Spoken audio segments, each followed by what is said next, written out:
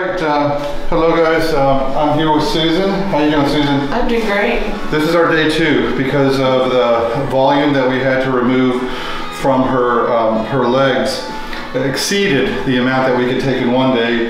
Uh, we had to break it up into two days. Uh, these are two consecutive days. So this is uh, Susan's um, leg from yesterday. We finished that. You can see from there the difference in size. Um, this is the bruising from her surgery. Uh, as you can see, it does get somewhat bruisy. A lot of patients, not so much, but uh, Susan bruises really easily uh, from her um, lipedema. So how are you feeling today? I feel good. Feels a little sun- sunburning on my right leg, but the pain medication is, I mean, it's easy once you take the pain medication. Okay. And uh, Susan's doing really well compared to, you know, some, a lot of patients have a lot of soreness. So this is something fairly new that we're doing, you know, uh, to take on uh, some stage two and larger patients. Um, uh, breaking it up into two days so that we can accomplish more. So anyways, she's doing really well. This is her uh, second side. I've got it numbed up right now. We've already taken quite a bit off the top here. But we decided to do a little video. Everything's going real smoothly. Um, so we're gonna get back started here, okay? And uh, you guys can see a little bit about what it's like. On. Oh, I got one. So with the numbing there, this is all local numbing and uh, this is what it looks like. You can see the fat go through the tube here.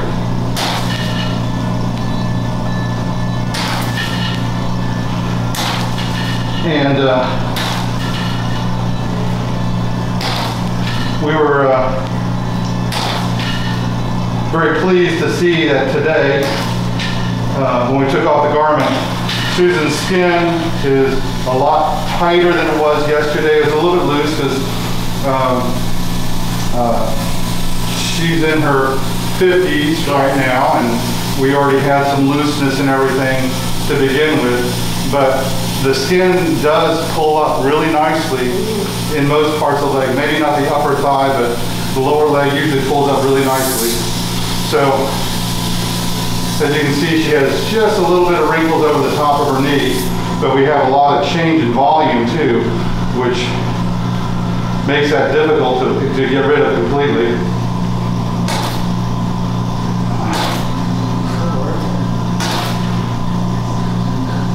So, have you been happy with what you've seen? Oh yeah, I can stop looking at my leg last night. It's just like a miracle. Absolutely. I was just astonished at how great it looks.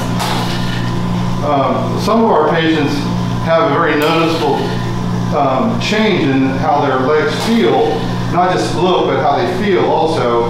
I've had some patients that immediately after we were done removing the fat, the lipedema fat, expressed how the legs feel a lot lighter and less painful. So I was asking Susan about that this morning. Susan, what did you tell me? Oh, it's so much easier to move my leg around and it's so light.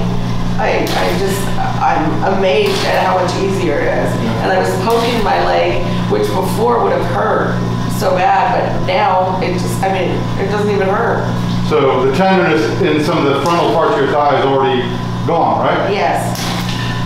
That's, that's pretty amazing. I, I, I'm, even though I've been treating lipedema patients for a long time, you know, we, we don't really understand why the pain symptoms are there to begin with, or why they go away so uh, quickly and consistently when you take the fat out. But that's what we're doing this for, is for symptomatic relief and uh, also for the, the benefit of you know, looking better and feeling better.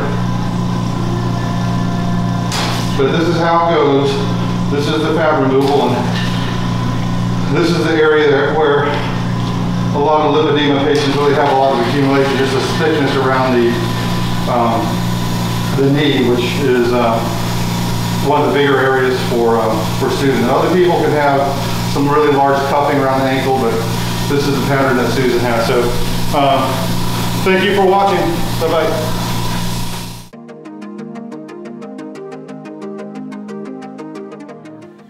here we are, Susan.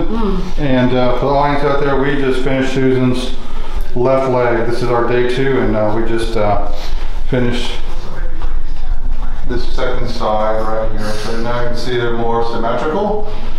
and uh, we'll show you the uh, before here. How, how was it today, Susan? I think it was easier today than yesterday, and I don't know if that's because I anticipated it or we were more numb. Yeah. But um, Well, that's great. I was a little more comfortable today. Oh, pain medication. Yeah, and I think I learned a little bit about how much uh, anesthesia you need, so I, I was able to put more in starting out.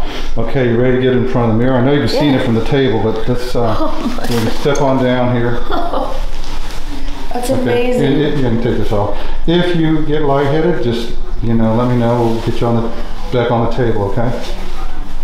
Mike, coming? Yeah, yes, yeah, yeah, you're good in front. Oh my goodness.